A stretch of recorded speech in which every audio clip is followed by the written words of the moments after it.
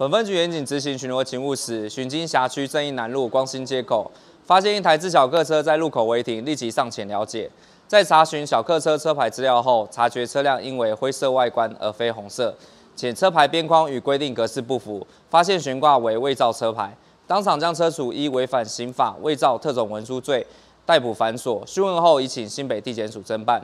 本分局呼吁，若车牌遭吊销或注销，切勿抱持侥幸心态。擅自悬挂假车牌上路，警方将持续针对伪造车牌等不法行为加强查缉，请民众不要以身试法。